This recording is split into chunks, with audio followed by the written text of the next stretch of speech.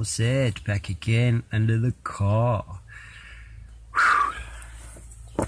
Bit over my car now, I must be honest. However, hopefully, this is the last major thing that we've done, and I'm about to put my rear diff back in.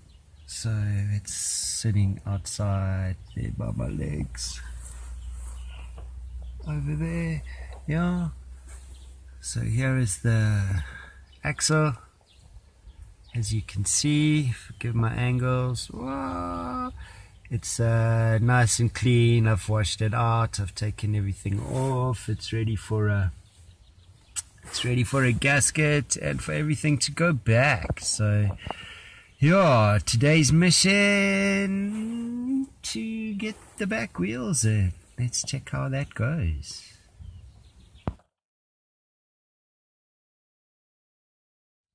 Alright, just a quick shout out to, uh, I can't lift it up, it's too heavy.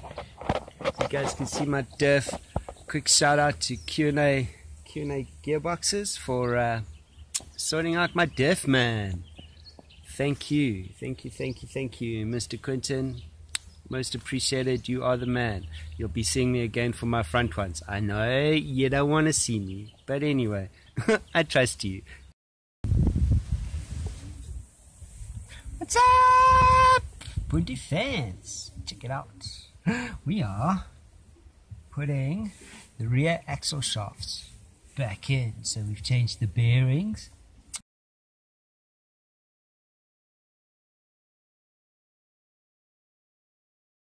Um, yeah, man, and you know how things go with the budget. Everything takes a bit of time. So now we got everything we needed imported straight from Yugoslavia. Can you believe it? I'm lying, not Yugoslavia, sorry, the Ukraine. straight from the Ukraine, from Kiev, from Lada Power. Yeah, shout out to Lada Power. They ship it direct, baby. DHL to your front door, hassle free. Got the parts within six days. Can you believe it?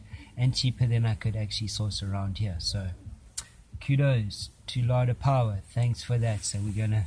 I took everything off, you know, and I'm left with this doohickey. I don't know what it's called. Um, all I know that uh, O-ring goes inside here. I'm to connect the handbrake back into place, goes over here, and connect the back brake. This is a cylinder, hey, rear brake cylinder. And we're going to connect the, the pipe to it. And let me show you the brake the handbrake. Yeah, can you see? It's for the handbrake.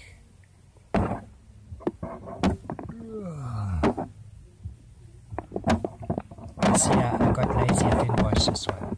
So, forgive me, I don't crash. Right.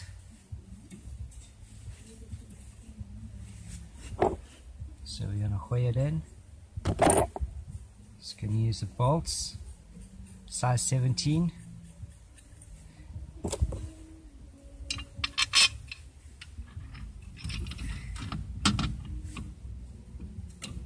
Yeah, and just put two in just to hold it in place.